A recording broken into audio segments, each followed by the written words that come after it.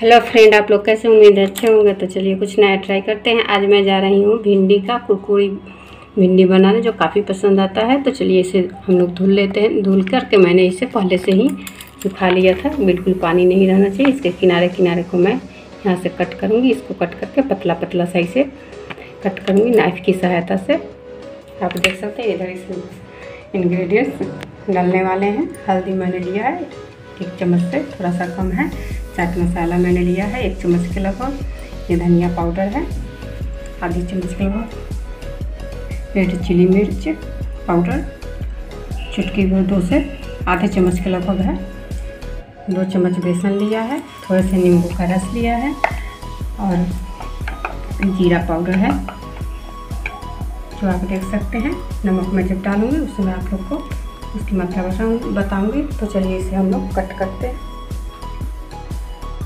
आप देख सकते हैं, मैंने इस तरह से इसे किनारे से इस तरह से आप कट कर ले, इस तरह से, और इसे पतला पतला इस इस साइड से ऐसे करके इस तरह से आप देख सकते हैं।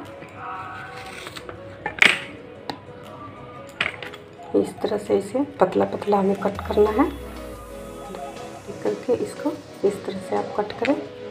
तो चलिए मैं सारे को इस तरह से देखिए, इतना ही पतला साइज़ में कट करना है। आप देख सकते हैं, इस तरह से कट कर लें आप ही सारे भिंडियों को।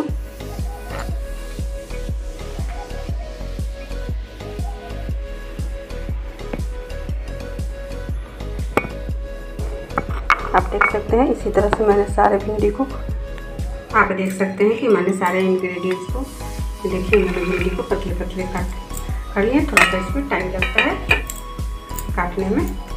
मैंने जो जिस स्टेप से आप लोगों को बताया है, उसी स्टेप से आप लोग भी इसे बनाएँ। इसमें मैं सबसे पहले हल्दी पाउडर ऐड करूँगी। सबकी मात्रा मैंने आप लोग को बता दी है। उसी मात्रा से आप भी इसे बनाएँ। बहुत ही टेस्टी, क्रिस्पी होता है। तो चलिए सारे मसाले हम लोग इसमें ऐड कर लेते हैं। देखिए, नींबू का रस है। बेसन पाउडर मैं इसमें बेसन। दो चम्मच के लगभग मैंने लिए इसे भी आप इसमें मिक्स करें। इस तरह से। आप देख सकते हैं मैंने हरे इंग्रेडिएंट दो, एक से डेढ़ चम्मच के लगभग मैंने इसमें पूरे खाने वाली स्पून से, इस स्पून से मैंने एक चम्मच के लगभग इसमें डाले हैं। नमक, इस तरह से इसे मिक्स करें। आप देख सकते हैं इस तरह से पूरे में अच्छे से कोट होनी चाहिए। उसके बाद में आप इधर रिफाइन या तेल आप गर्म कर लें, इस तरह से। तेज़ फ्लेम पे पहले गर्म करें, उसके बाद में धीमा फ्लेम करके। आप देख सकते हैं, मैंने पूरे अच्छे से इसे पोट कर लिया है। अभी इसी तरह से पोट कर ले, इधर मैंने तेल गर्म कर लिया है। इसमें थोड़े थोड़े करके आप डालें, एक बार में अधिक ना ऐड करें। इस तरह से देख सकते हैं, तेल पूरी तरह से गर्म है। और फ्लेम को आप कम कर लें। ठीक, इस तरह से आप भी इसे, आप देख सकते हैं, इसी तरह से आप भी इसे पलट करके तरह से धीमी एंड लो फ्लेम पर इसे अच्छे से पकाएँ।